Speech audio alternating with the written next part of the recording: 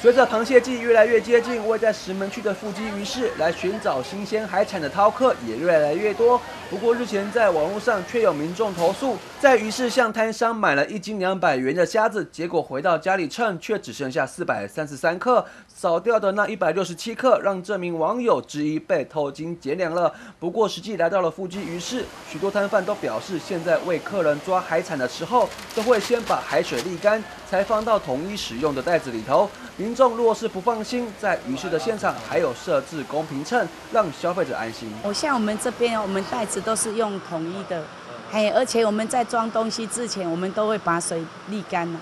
嘿，啊，因为你活的东西一定多少会有一点误差，嘿，因为像有的客人不知道啊，那个电子秤公斤台斤，如果说没有按好的话，就会搞混，那起来就是会差很多。啊，我们这边是以台斤。其实是一些客人的误解，因为它的总重量它是上面显示是公斤啊，我们一般在称的话都是用台斤，台斤是只有十六两，公斤是一斤又十两，总共是二十六两，所以超人称下去的时候一定会有误差。只要是我们的两数都是十六两足称的。后面的公平秤，你们在使用的话，你要稍微看重量一下，是中公斤的显示还是台斤的显示，这样就不会造成大家的误会。摊贩表示，在鱼市里头，海鲜都是以台斤计价，而部分有些海产生物因为体积较大的关系，有可能会含些许的海水在体内，而这些误差值都不会超过太多。而有些民众在使用公平秤的时候，往往都会将公斤与台斤操作错误，造成不必要的误会。好，然后它要这样子，它现在是公斤的的的单单位，然后要先按一个计价单位这一个按键，然后按第三个第三个就是公斤的的那个单位，它就会变过去，然后再按一个数金额的数字，好，来，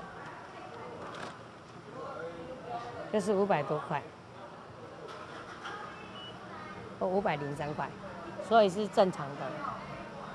不会，现在好像比较公平，对对对，比较好了。不会担心。对对，现在比较安心。以前在那边好像就有差一点。对，现在都觉得还合理。对对，可以。游客表示，对于目前鱼市的商家，并不会感到不诚实，只说这个价钱都还算合理。而富基鱼市在多年前因为偷斤减两，造成生意一落千丈。而这次新北市政府也特别打造了新鱼市。在现场也摆放了三个公平秤，就是要让消费者能够买得安心。记者许端义石门采访报道。